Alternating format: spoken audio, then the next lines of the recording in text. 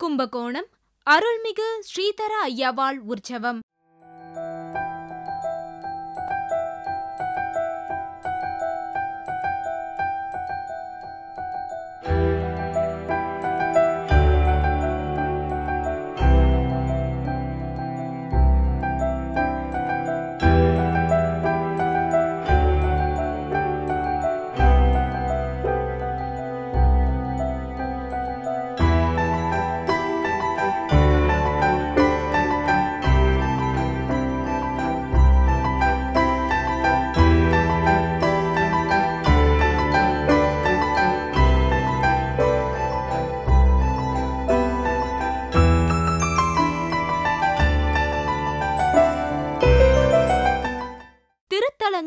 பல உண்டு.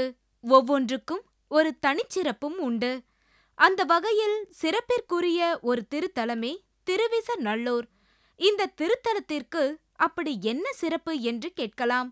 ஸ்ரீ பகவன் நாம போதேந்திர சுவாமிகள் ஸ்ரீ சதாசிவ பிரம்மேந்திராள் ஸ்ரீதர ஐயாவால் சுவாமிகள் ஆகியோர் சாஸ்திரங்கள் வேதங்கள் குறித்து விவாதித்த திருத்தலம். இத்திருத்தலத்தில் சுமார் முன்னூறு ஆண்டுகளுக்கு முன்னர் ஸ்ரீதர ஐயாவாள் மகான் வாழ்ந்த காலத்தில் நடந்த நிகழ்வு இது. ஒரு கார்த்திகை அமாவாசை தினத்தில் அவரது தந்தைக்கு திதி கொடுக்க ஏற்பாடு நடந்து வந்த நிலையில் ஏழை ஒருவர் பசியால் துடித்துக் கொண்டிருப்பதைக் கண்டார் மகான் ஐயாவாள். இதனைக் காண பொறுக்காமல் திதிக்காக ஏற்பாடு செய்த உணவை ஐயாவாள் அவருக்கு வழங்கினார்.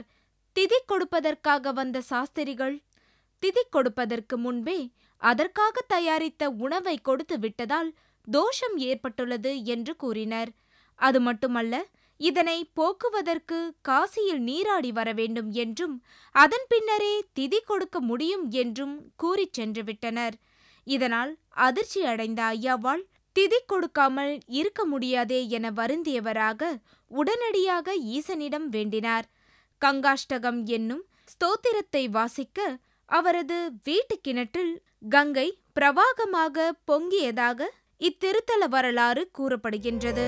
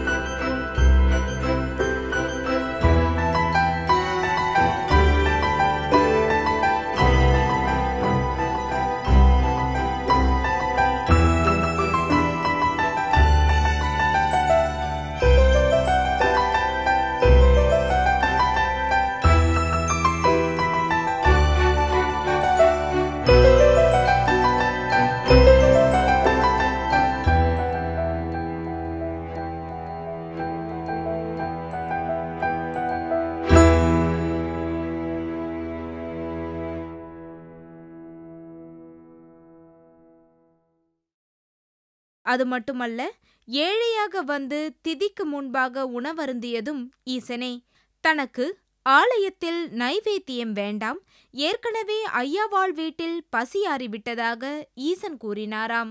இந்த நிகழ்வை நினைவு கூறும் விதமாக இன்றும் கார்த்திகை அமாவாசை நாளில் மகான் ஸ்ரீதர ஐயாவாள் சுவாமிகளின் உற்சவம் நடக்கிறது.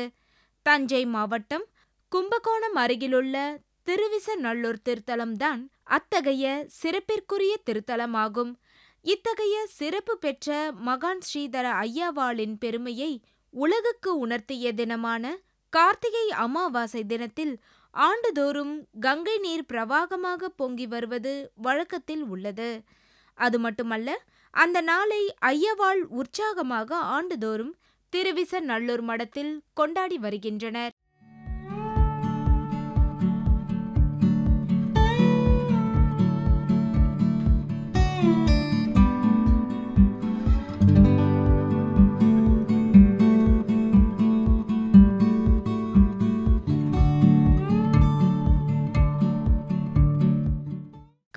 அமாவாசை தினத்தன்று அதிகாலை முதலே பக்தர்கள் கூட்டம் களை கட்ட துவங்கி விடுகின்றது. தமிழகம் மட்டுமின்றி கேரளா ஆந்திரா கர்நாடகா புதுச்சேரி உள்பட பல மாநிலங்களை சேர்ந்த பல நூற்றுக்கணக்கான பக்தர்கள் வரிசையில் வந்து முதலில் காவிரியில் புனித நீராடுகின்றனர். பிறகு ஐயாவாள் மடத்தில் உள்ள விசேஷ கிணற்றில் புனித நீராடுகின்றனர். இந்நிகழ்வையொட்டி மகான் ஸ்ரீதர ஐயாவாள் சுவாமிகளின் விக்கிரகம் அலங்கரித்து வைக்கப்படுகின்றது. அபிஷேக ஆராதனைகளும் விசேஷ பூஜைகளும் நடக்கின்றன. இதில் பல்வேறு பகுதிகளை சேர்ந்த பக்தர்களும் கலந்து கொண்டு சுவாமிகளை வேண்டி அவரது அருள் பெறுகின்றனர்.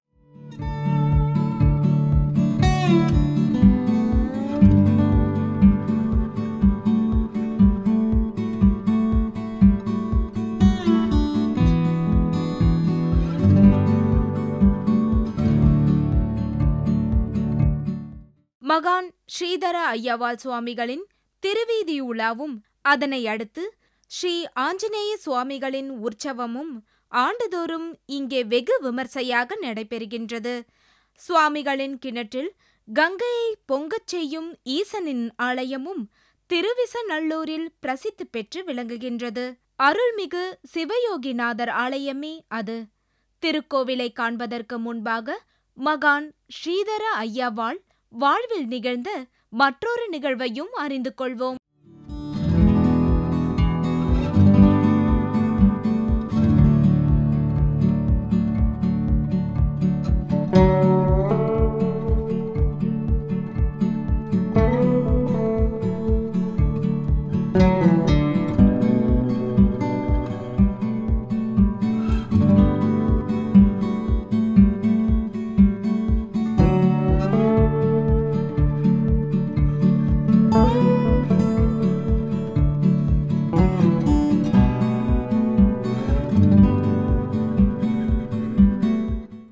சிவனும் விஷ்ணுவும் ஒன்றே என்று மக்களுக்கு போதித்தவர் மகான் ஸ்ரீதர ஐயாவாள்.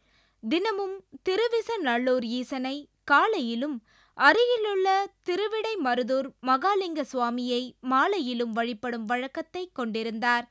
திருவிச நல்லூரில் இருந்து திருவிடை மருதூர் செல்லும் வழியில் வீர சோழன் என்ற ஆறு குறுக்கிடும். தினசரி இந்த ஆற்றைக் கடந்து திருவிடை மருதூர் செல்வது வழக்கம். அருள்மிகு மகாலிங்க சுவாமியை தரிசித்த பின்னரே உணவருந்தும் வழக்கத்தை கொண்டிருந்தார். ஒருநாள் மழை பலமாக பெய்து வீர சோழன் ஆற்றில் வெள்ளம் பெருக்கெடுத்து ஓடியது. மகாலிங்க சுவாமியை தரிசிக்க முடியவில்லையே என்று வருந்திக் கொண்டிருந்தார். அப்போது வயது முதிர்ந்த திருவிடை மருதூர் மகாலிங்க சுவாமி திருக்கோவில் அர்ச்சகர் அங்கே பிரசாத தட்டுடன் வந்தார்.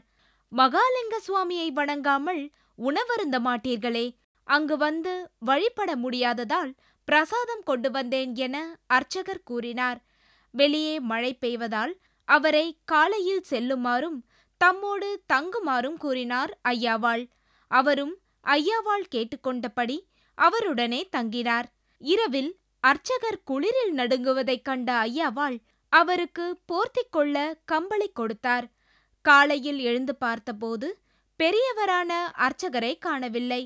தாம் அசந்து தூங்கியதால் சொல்லாமலேயே சென்று விட்டார் போலும் என்று ஐயாவாள் நினைத்தார்.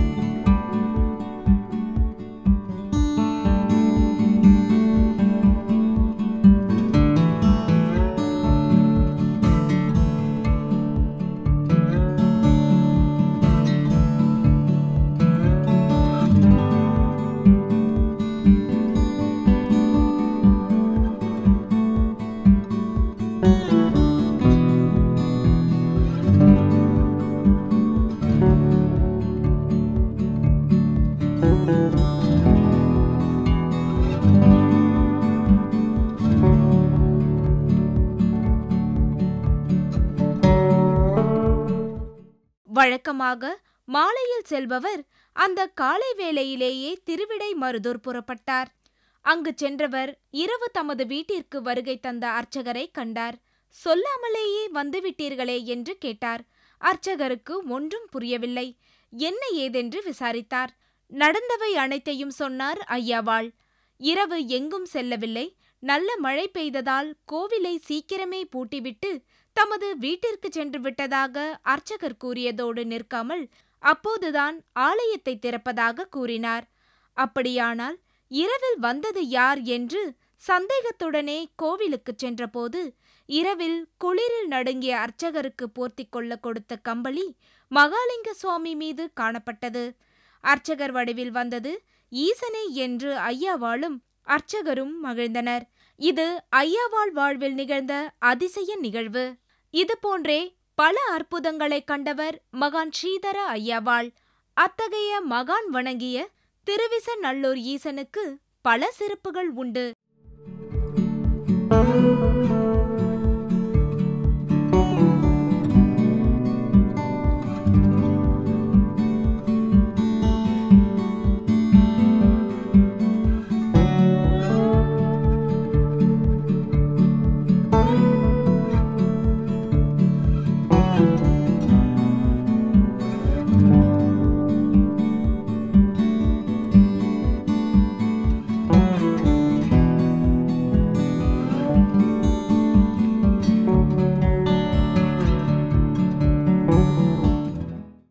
வளநாட்டிற்கே உரிய சிறப்பு பிரம்மாண்ட சிவாலயங்கள்தான்.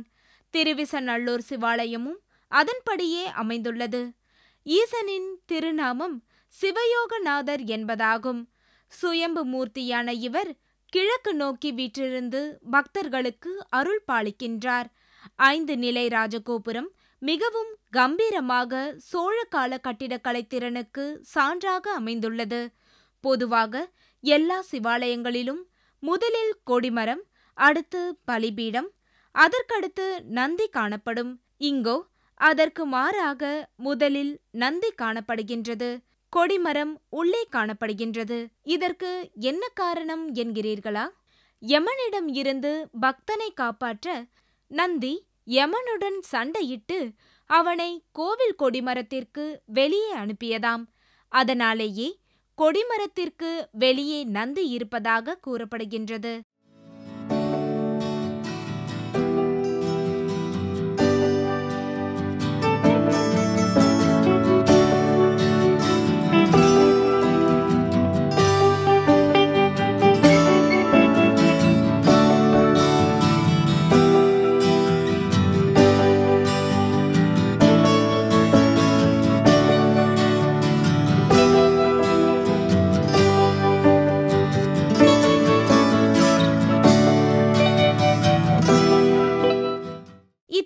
ஈசனையும் நந்தியையும் வழிபட்டால் யமபயம் இல்லை என்கிறார்கள். அது மட்டுமல்ல ரிஷப ராசிக்காரர்கள் வழிபட வேண்டிய திருத்தலமும் இதுவாகும். பிரகாரத்தில் தல விநாயகர் ஸ்ரீ வள்ளி தெய்வானை சமேத முருகப்பெருமான் நவகிரகங்கள் மற்றும் பஞ்சலிங்கங்களின் சன்னதிகள் உள்ளன. நான்கு லிங்கங்கள் ஒரே பீடத்திலும் அதன் கீழே ஒரு லிங்கம் என அமைந்துள்ளது. பஞ்சலிங்கம் போலவே இங்குள்ள இன்னொரு விசேஷம் சதுர்கால பைரவர் சன்னதியாகும். சதுர் என்றால் நான்கு. எனவே நான்கு பைரவர்களை ஒரே இடத்தில் தரிசிப்பது வேறெங்குமே காண கிடைக்காதது. ஞான கால பைரவர் சொர்ண ஆகர்ஷண பைரவர் உன்மத்த பைரவர் யோக பைரவர் என நான்கு பைரவர்கள் அருள்கின்றனர்.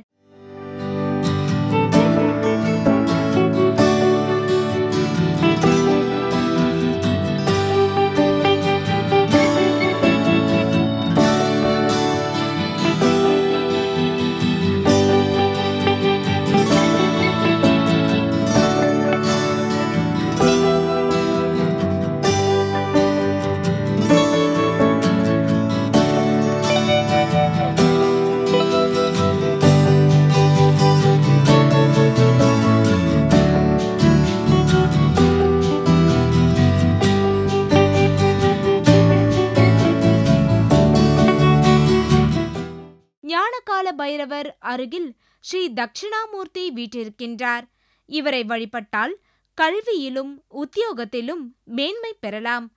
இத்தல சொர்ண ஆகர்ஷண பைரவர் எதிரில் மகாலட்சுமி அருள் பாலிக்கின்றார். இவரை வழிபட கடன்கள் அகலும் செல்வம் சேரும் சேமிப்பு உயரும். உன்மத்த பைரவருக்கு அருகில் சனி பகவான் வீற்றிருக்கின்றார். இவரை வழிபட ஏழரை சனி அஷ்டமத்து சனி கண்டச்சனி முதலிய சனி தோஷங்கள் விலகுவதோடு திருஷ்டி தோஷங்களும் நீங்கும் என்கின்றனர். அடுத்ததாக யோக பைரவரின் அருகில் உத்தர கைலாச லிங்கம் உள்ளது. இந்த லிங்கத்தை வழிபட்டால் எல்லாவிதமான ராஜ யோகங்களும் வாழ்வில் கிடைக்கப்பெறும் இழந்த சொத்துக்கள் பூர்வீக சொத்துக்களை மீண்டும் பெறலாம். நான்கு பைரவர்களையும் ஒரு சேர வழிபட்டால் அனைத்து துன்பங்களும் நீங்கி நன்மைகள் பெருகும் என்பது ஐதீகம்.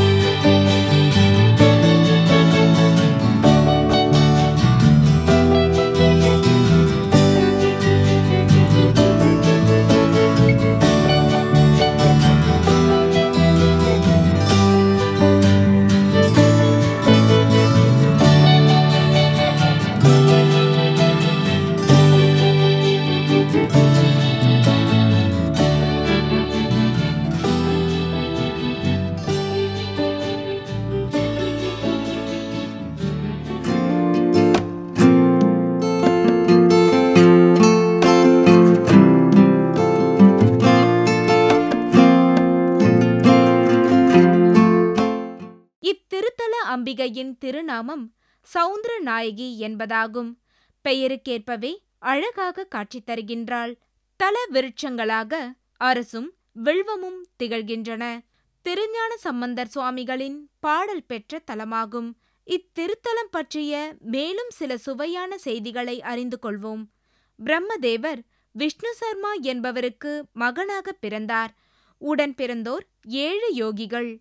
ஒரு மகா சிவராத்திரி நாளில் தம்முடன் பிறந்த ஏழு யோகிகளுடன் அவர் இந்த சிவலிங்க திருமேனியில் கலந்தார். இன்றும் எட்டு பேரின் சடைமுடிகளும் சிவலிங்கத்தின் சிரசில் உள்ளது குறிப்பிடத்தக்கது. அகத்திய முனிவர் மற்றும் ஜடாயு வழிபட்ட திருத்தலம் இதுவாகும். இன்றும் சிவராத்திரி நாட்களில் இத்தலத்து ஈசனை அகத்தியர் வழிபடுவதாக கூறப்படுகின்றது. சைவ சித்தாந்த நூல்களில் ஒன்றாகிய திருவுந்தியார் என்னும் நூலை அருளிய உய்யவந்த நாயனார் அவதரித்த திருத்தலம் இதுவாகும். இத்தலத்தில் குறிப்பிட வேண்டிய ஒரு சிறப்பு இங்குள்ள சூரிய கடிகாரம் அரை வட்டக்கோள வடிவத்தில் உள்ளது. நமது முன்னோர்கள் சூரியன் செல்லும் பாதையை கணக்கிட்டு சரியான நேரத்தை அறிய இதனை அமைத்ததாக கூறப்படுகின்றது.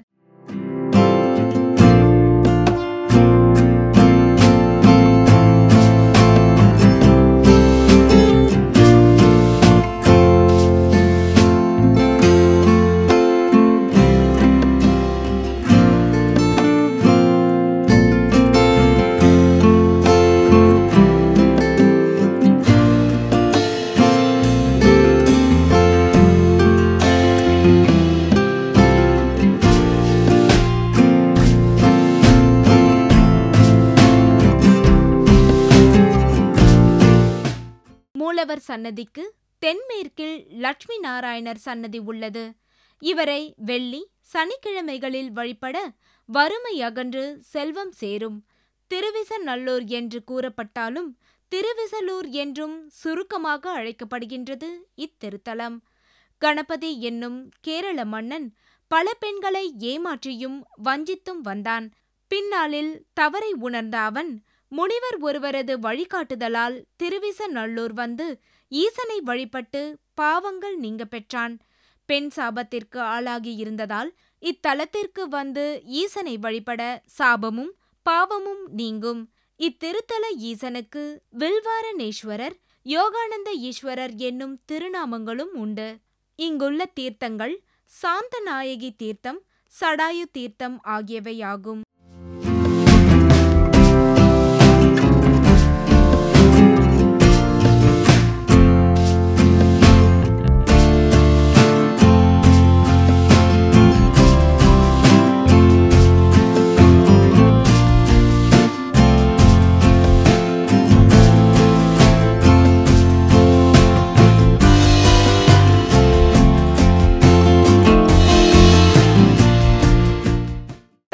மாவட்டத்தில் பல ஊர்களின் பெயர் திருவிசலூர் என்றிருப்பதால் இத்தலம் பண்டாரவாடை திருவிசலூர் என்று அழைக்கப்படுகின்றது. சோழர் கால கல்வெட்டில் வடகரை ராஜேந்திர சிம்ம சோழ வளநாட்டு மன்னி நாட்டு பிரம்மதேயமான வேப்பத்தூர் சோழ மார்த்தாண்ட சதுர்வேதி மங்களத்தை சேர்ந்த ஊர் என்று குறிப்பிடப்பட்டுள்ளது. ஈசனின் திருநாமம் திருவிசலூர் தேவபடாகரர் சிவயோகநாதர் என்று குறிப்பிடப்பட்டுள்ளது.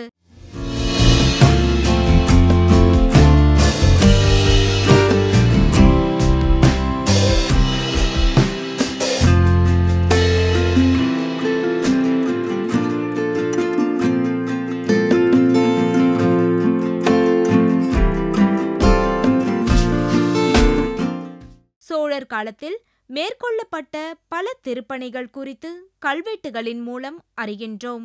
வாழ்வில் ஒருமுறையாவது திருவிசநல்லூர் அருள்மிகு சிவயோகநாதரை தரிசிப்பதோடு மகான் ஸ்ரீதர ஐயாவாளையும் தரிசித்து வரலாமே.